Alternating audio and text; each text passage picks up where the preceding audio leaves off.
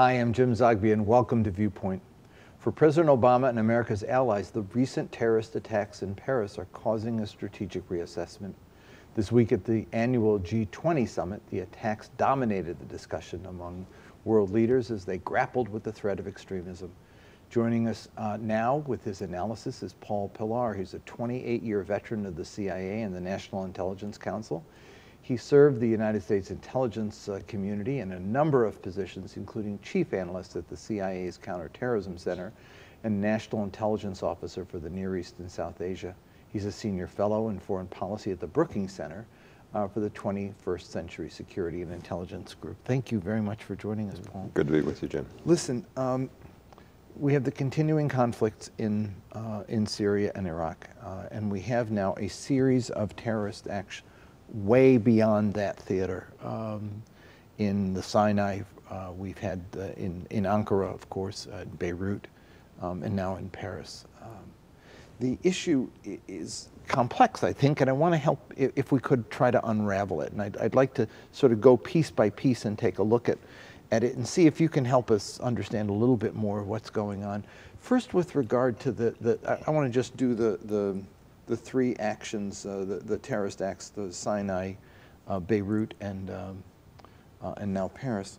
Um, is there a change in ISIS's strategy here? Um, it always was Al Qaeda that had the global reach, uh, right. that was hit them there, uh, and, and not focusing on developing a home base. ISIS had a different strategy. Is there a strategic shift here observable, or don't we know? Well, first of all, we, we, we don't know because it's uh, a mistake to draw a lot of conclusions uh, from incidents that have occurred just recently and for which the investigations have a long way to go. Mm -hmm. You're quite right, Jim, that uh, there's a basic strategic difference between Al Qaeda and ISIS with regard to uh, Al Qaeda's uh, main doctrine and strategy was centered around hit the far enemy, meaning the West, especially the United States, whereas ISIS, by contrast, has been uh, building its so called caliphate and concentrating on the here and now. Um, the extra dimension, though, is to what extent is the uh, participation or interference from ISIS's point of view in, in the caliphate and what's going on in Syria and Iraq a reason for retaliation and revenge? And each of those incidents, Beirut, Sinai, and, and Paris, you know, may in fact uh, be that. Um, I mean, in terms of what we know now in, in the investigations, uh, I think it's uh, at least a, a decent uh, bet to say that that's part of the motivation. Uh, I wouldn't go farther than that. I mean, the, the Sinai, for example, the Russians just in the last day have said, yes, it wasn't, was in fact a bomb. Um, so we know that.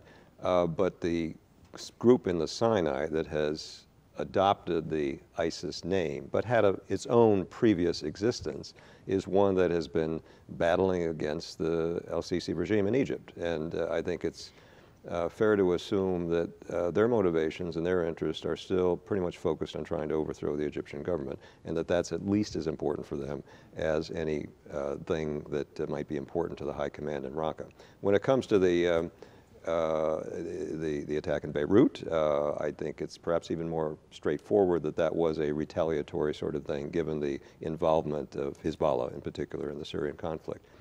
Paris, um, there's a lot that we still have to find out. And in terms of what's dribbled out of the investigation so far, I would say this has at least as much to do with a Belgian-based gang and what's going on in the suburbs of Brussels and Paris.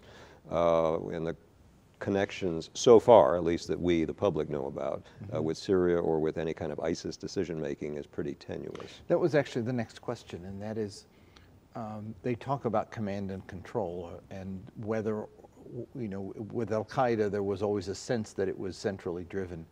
Um, uh, ISIS seems to let out franchises. Um, if you wake up in the morning and you got a gripe uh, and you've got an armed group, you can say, I declare my loyalty to.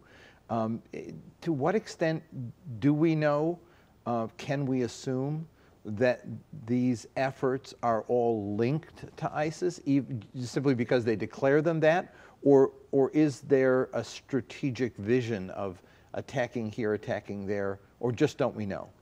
Um, again, the short, immediate answer is, is we don't know. Yeah. And, you know, as someone who's, who's studied terrorism for over 20 years, I always hate that word link because it, it tends to be used Yeah. very loosely uh, in the media and in other discussions. You know, links can go everything from on one extreme, command and control and instigating and directing and financing an operation, uh, to on the other extreme, the most casual sort of contact that really means very little in terms of. Uh, But the political rhetoric that is, that is coming forth is that it is a command and control operation. That is the political rhetoric. I, uh, the political rhetoric, as usual, is running well ahead of, of uh, the information. Um, and, and I think we will find out more as the investigation uh, proceeds with regard to Paris, which is the one that's held the West's attention. So my next series of questions all had to do with what they were going to get out of this, and I, I and I think that's what we don't know. Um, i- i- there always was the speculation with uh, dragging America into Afghanistan to sort of ground them down in a war. That was the idea that was projected about why uh, Al Qaeda struck. Um, uh, Russia's already involved in, um, uh, in Syria before the Sinai bombing. Um, Hezbollah is already involved before it. And France is already bombing, not in Syria, but they were bombing in, in Iraq. Um, if you pull yourself back from what we know to speculate from based on your experience, is there any logic to this that, that, that seems to, to make sense of why they would hit these targets?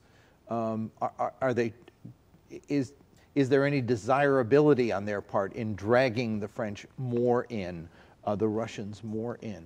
Yeah, there, there are two ways to interpret this, which point to in opposite directions. One is a parallel to, to the Al Qaeda reasoning that you mentioned, uh, that it does suit their purpose to drag Western governments in more, uh, which uh, tends to support the narrative that this is a struggle between Muslims and the Judeo Christian West, and that they, the group in question, Al Qaeda before, ISIS now, is the one that is protecting a Muslim population against the predations of a Judeo Christian West. Um, I think there's logic to that. Um, what ISIS has to weigh against that, which is somewhat different from Al Qaeda, given that they basically have more to lose with their mini state that they've already established in, in uh, Syria and Iraq, which goes beyond you know, what Al Qaeda ever had on the ground, uh, is the direct kinetic physical you know, destruction um, that is surely a minus. And, and how that nets out in the thinking of decision makers in Raqqa, it's, it's hard to say. Um, I, I think uh, probably part of the calculation, as you noted, is that, well, they're coming after us already. Um, and to suck the likes of the French and the Americans in further so we get more of this propaganda payoff it- uh, might, might outweigh any additional physical, uh, physical damage. it almost seems that, eh, you know, uh, given the difference, the way Al Qaeda operated and the way uh, ISIS thus far has operated, that I, I wonder if they woke up in the morning after the Paris attack and said, "Oh crap, uh, this is not what we want," um, because it does threaten them in a way that they can ill afford to be threatened with uh, a massive uh, assault on Raqqa or on Mosul. Um, I, I think it, it, they're going to say different things waking up on different mornings. Again, the Al Qaeda experience, or our experience with Al Qaeda, is uh, instructive.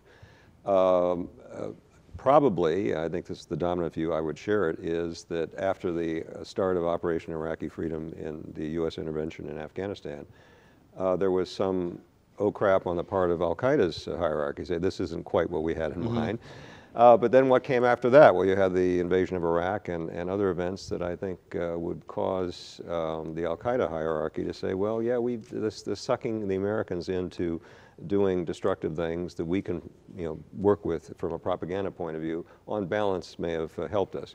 So, uh, you know, how it's going to net out from ISIS's point of view, or our viewpoint of ISIS's point of view, I think uh, has yet to be determined. But, it, but it, you, you've got these conflicting considerations between the symbolism and the imagery on one side and the actual physical effect on the ground on the other side. You made the point in one of your recent writings about the political pressures that then uh, get placed on political leaders Right. to do certain things.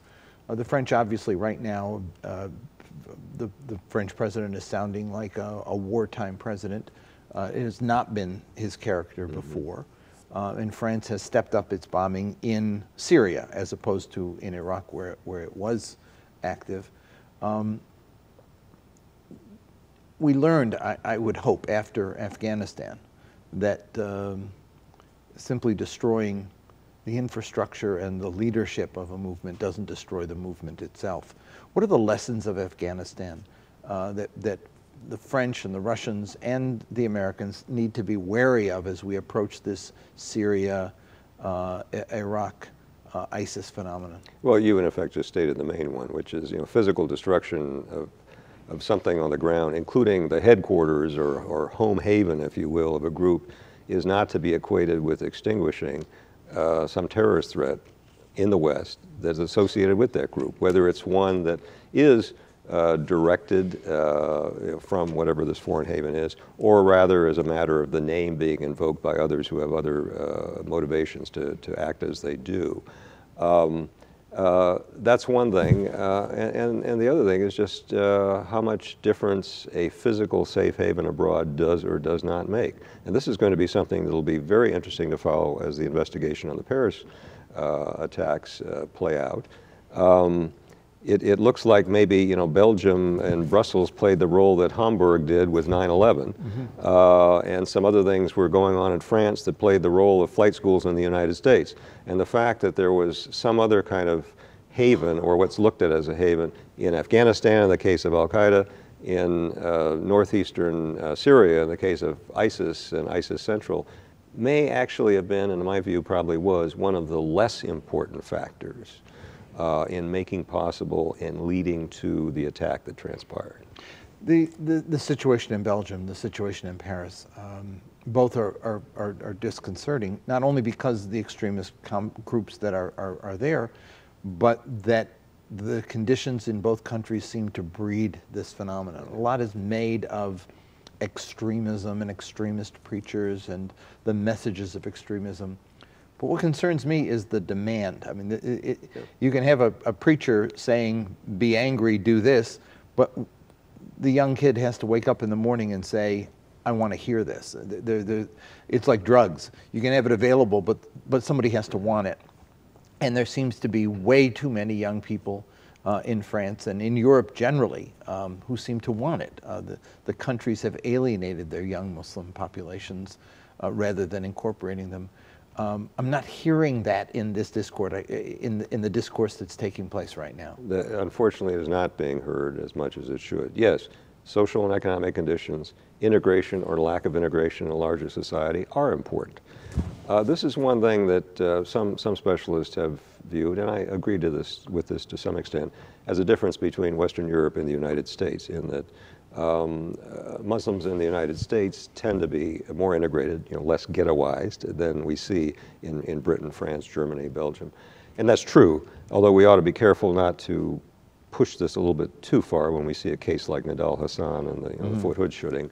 Uh, here you have an army officer that's about as integrated as, as, as you can get. Um, but conditions do matter. Um, and the, uh, the relationship between a minority community uh, such as in the suburb of uh, Brussels that we now have learned about uh, that, that uh, involved the uh, suspected attackers in Paris, its relationship with the rest of the society, its whether it's integrated or not, does in fact matter. There's, there are two population movements taking place. There's the refugees moving one way, and then there's these young people moving the other way. Um, and ISIS has fed off of this importation of foreign fighters, uh, more than even domestic recruitment. Um, what's troubling uh, in this aftermath is the not just not paying attention to the domestic conditions that helped spawn it, but the conflation of the two. Uh, the refugees are a security threat, is what we've been told, and uh, America's reacted one way, but the European reaction has been uh, equally deplorable. Borders being closed and far right-wing parties uh, gaining some steam from the, the problem. This is only going to make it worse. Yes. Now, in the case of the Paris attacks, there is this one tidbit uh, that suggests, you know, one of the suspected attackers may have come in as part of a refugee flow. So that's going to feed the phenomenon you talked about. Although I, I saw a Guardian story that said that an identical passport with different fingerprints was found uh, with a guy who they arrested um, in Serbia. it, it, it still needs to be sorted out. Yeah. And, but, but the main point is, you know, that, that kind of talk that you were referencing came before any of this Yeah. uh, evidence or purported evidence. You know, we, we- we've heard the same sorts of things here in the United States with regard to the idea that, uh, you know, Hezbollah are going to wade across the Rio Grande from Latin America and pose a threat to the United States. Uh, and now, of course, um, uh, we're, we're getting uh, uh, rhetoric that goes even farther than that with regard to uh, the Syrian refugees, uh, of, of which um, the United States, as you well know, has taken in a very small proportion, you know, quite in contrast to the likes of, of Germany. And the difference in Europe is not just that you have to get on a plane, be vetted, and, and brought over, but they found both a sea route and land route, which poses two problems for Europe. One is a, a, a, a, simply a logistic problem. Whether they want to incorporate them or not, they've got over a million people, um, and the numbers suggest that we're going to see another million, maybe two or more in the next few years. Um, that poses a, a, a- security challenge of a, of a different sort in Europe. I mean, they're not going to find a, a European Don Trump who's going to say, let's put them all on buses and send them back. How does Europe deal with this? And what assistance can the United States be to Europe to help them figure out a rational, and not that we've solved our migrant problem from the South either, but, but certainly they're not behaving well uh, with regard to dealing with this issue that is not just at their doorstep, but it's now inside their doors. Well, it's, it's a numbers problem, and, and it, it's, uh, uh, the huge numbers are a problem just looking at it strictly as a humanitarian refugee problem, and then as a security problem in terms of, you know, keeping track of, of uh, possible terrorist or extremist in that midst. Uh, it's a numbers problem as well, and that, that's basically the story so far as it's emerged in terms of what the Belgians, you know, did or did not tell the French with regard to this uh, gang uh, in Brussels. But I mean, the numbers are staggering, and um, uh, one has to take one's hat off to Chancellor Merkel and what, what she, I mean, she's taken a courageous political position here in, in uh, basically opening up Germany to the extent that she has. Uh, but, but she would have to admit there's a numbers problem too with regard to assimilation, with regard to just you know, basic, meeting basic needs, not to mention the whole security thing, which has now been uh, I mean, it was already there all along, but with the Paris incidents, it has But been badly thing- conflated. the Security thing, not just in the sense of a terrorist, but if you have two, three million people um, camped out in your country uh, and no way to process, assimilate, or incorporate them into your society, that then becomes a, a I mean, we've had the Roma, and the Europe Yeah. hasn't done well with that. Th- This creates almost, a, manufactures a new demographic challenge that Europe has to deal with. Well, and, and it, it simply enlarges the problem we were talking about just a couple of minutes ago with regard to um, communities in ghettoized suburbs of cities uh, that already uh, present a problem of uh, insufficient assimilation with the larger society. I want to shift to um, Vienna. One of the things that came out of Paris, maybe the only positive, was uh, a new sense of solving the Syria crisis. It created a different sense of uh, cooperative discussion among the U.S. and the Russians, uh, and even the Saudis showed some movement uh, in in Vienna this is not to suggest that solving Syria solves the problem, but certainly solving Syria is an important piece here that has to be uh, factored in. From what you know of what came out of Vienna, is there reason to be uh, hopeful here, or is it uh, uh, was it an empty process? Well, we should be pleased with what came out of Vienna just from the standpoint of who was, who was in the room. And p- particularly, you know, the Saudis and the Iranians in the same room, which, I mean, that, that's, that's progress in itself. Um, and I think we saw the start of a, of a multilateral diplomatic process that, that is pointing in a direction where, in terms of the general principles, and this is part of the statement that was, that was made out of Vienna, um, as far as the general principles as opposed to detailed implementation is concerned, uh, it's pretty clear what direction the world community has to lead, and that is one where, looking at that key question that people keep asking of the, the future of Assad, that he won't be part of the future over the long term, but this doesn't mean he's going to be booted out tomorrow or next week. And there is a, an appropriate consciousness on the part of us and the Russians and others that if it was a matter of simply booting him out uh, uh, very hastily, then you've got this question of how much of a governmental structure is still going to be there. Are we creating even worse chaos than, uh, uh, than we might have uh, had before? Um, so that, that provides a framework, and I think it's a basis for optimism in addition to the fact that you've got all the players around the table for the first time. The, the next round will include the Syrian opposition, and Hmm. the Jordanians uh, have been given the, um, the rather un, I, I would think that the task, the, the, the, the least uh, promising task of all, uh, to select who are the terrorist groups, the, the extremist groups who should be excluded from that. Uh, that's a no-win proposition for the Jordanians. Um, how will that work out as, as you understand? I mean, it, it- everybody's got a different sense of who the terrorists are, and I think that it's, uh, uh, it's, it's not a comfortable place to be in for, for poor King Abdullah. Oh, it certainly isn't. And I think any kind of formula that emerges is going to have to be something other than the Jordanians or the international community generally coming up with a list that is very specific as part of the negotiated formula. It's going to be have to be more of a of a process that that somehow blurs the lines with regard to these groups where there's not an agreement whether they should be excluded or not. I don't know what that process is. I don't have a formula in the back of uh, my head, but that's what you know the diplomatic planners are supposed to think about. Is it about. possible to imagine at this point um, a U.S. Russian with Saudi Iranian support, the regime and the opposition that is the one we accept, joining forces to, to deal with ISIS?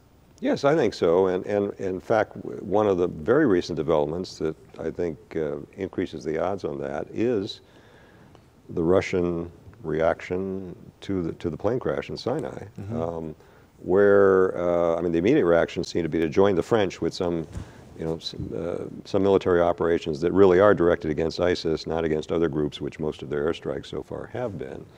Uh, and I think that probably has increased the, uh, the Russian motivation to be part of a, a joint effort in Syria where it's understood uh, we got to deal with this because ISIS is a problem for everyone. And we can't deal with the ISIS problem unless we somehow form, uh, find a, a workable political formula for Syria.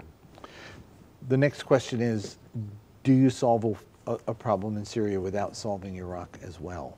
Um, because it is a, a transnational, it is a cross-border phenomenon, and both share the same thing. It's a, it's a, uh, it's an aggrieved community that has felt disenfranchised. A, a majority in Syria and a minority in, um, in, um, in Iraq, um, and one suggests that you can find a way to solve it in each country, but in the process of doing that, you alienate uh, important factors in the uh, forces in the other country. I mean, how, how do you deal with Syria and then Iraq? Can you deal with them simultaneously? Is there a will to do this? Uh, well, they have to be dealt with simultaneously. Um, I, I'm, I'm somewhat more optimistic in the near term about Iraq.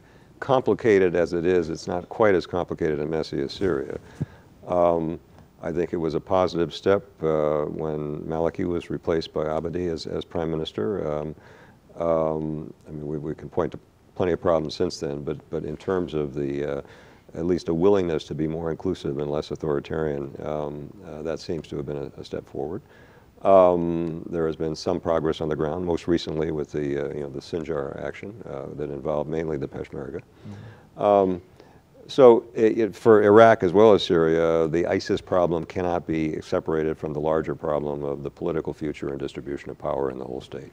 And, and it has to be simultaneously both in Iraq and Syria. In polling we did in Iraq, we found a profoundly deep divide uh, with Sunni and Shia on the issue of the popular mobilization forces, which are Shia led, uh, with their support for the government, which, despite the fact that Maliki is more open, uh, I'm sorry, that, uh, that the, uh, the current president is more yeah. open, Abadi is more open, there still is a sense of, uh, of, of frustration that they have not been incorporated enough. Um, and uh, the, about the only thing that all of them agree on is that the final solution for Iraq is that the central government has to be representative of all the people in the country. There was no interest in partition, even among the Kurds. The- I guess the question is, why couldn't we do with the Sunni population what we did in 2006, which is provide them with uh, the, the support to create the independent militia? I know that there have been efforts to do that, but it seems that the central government hasn't been as supportive of that effort. Well, because there's just there's distrust on on the uh, the central government side as well as on the uh, the, the, the Sunni Arab side in, in, in Anbar.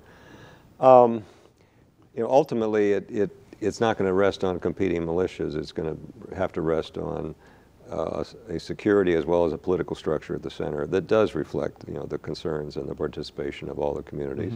Uh, but I, I think it also will involve a degree of decentralization of political power. There's a whole continuum between, you know, outright separation and breaking up Iraq versus a unitary state. Um, you know, the Kurds have enjoyed something close to de facto separation for quite some time now.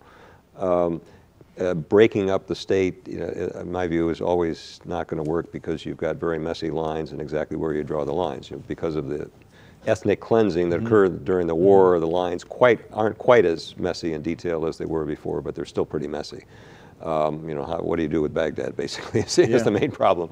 Um, uh, nonetheless, uh, I, I think you know, a cantonization kind of political structure that will uh, give people in Anbar and, and else the other uh, Sunni uh, Iraqi population more of a sense that they have uh, control over their own destiny, even though they're they're not the majority at the central government, will will help.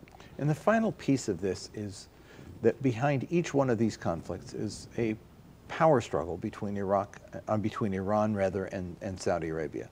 Uh, the Saudis uh, deeply concerned since 1979 uh, that Iran was projecting its revolution across the water. It, it has taken a sectarian um, uh, edge to it, but it wasn't sectarian initially. It was a it was a power struggle between Iran seeking hegemony and the Gulf Arabs rejecting that and projecting their own uh, their own sort of desire to to Im- impose their order, at least on their side of the water, if not also in uh, to the north of uh, to the north of the Gulf.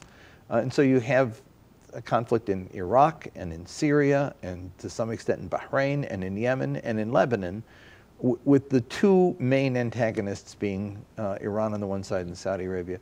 Um, it's always seemed to me that the solution is to get the sources of the problem uh, to engage in creating a regional security framework. Um, is that even likely? Is that even on the on the agenda for anyone, or is that something that people know about but don't want to don't want to go there because there's no conditions for it? Well, that's why th- my one point of optimism I started with when we talked about the results of the Vienna meeting was the fact that you had the Saudis and the Iranians in the same room, and at least uh, you know they were at the same table talking about the same topic on an important security issue. Um, I think the main thing for those of us on the outside, and I'm speaking mainly from the standpoint of U.S. policy, uh, ought to bear in mind is is not to get sucked into those those rivalries. I mean, whether it's mainly a sectarian thing, mainly an ethnic thing, mainly simply uh, struggle for uh, regional influence between uh, two competing players. Um, we, we do not have good reasons to take side in that sort of thing. Uh, you know, we have an interest in regional stability. We don't have an interest in you know favoring you know one of those players over the other in terms of degrees of influence. Um, it's you know same kind of thing we've always had to encounter in South Asia with the Indians and Pakistanis. You know where it's hard to do any business without being perceived to take sides, and then it, it makes it very difficult to get things done with either side. Um, I, I think, to be quite blunt, you know, the Saudis uh, and, and, and some of the other, the other, the Emiratis and the other Gulf Arabs have been making a big mistake in Yemen with uh, pursuing that war. Uh, clearly, the, the rivalry that you talk about uh, with, with Tehran is, uh, is a big motivator. It's not the only one. But that's, that's created a humanitarian problem, a problem of instability, and this is not something that uh, I think we ought to take sides on. Next time we'll talk about Yemen. It's a it's a it's been a crisis for years, um, and it's getting worse. It's and thank you for joining us. Um, that's all the time we've got. For more information, you can follow us on Twitter at AAIUSA, or check out the website aaiusa.org. I want to thank you for watching, and see you next week on Viewpoint.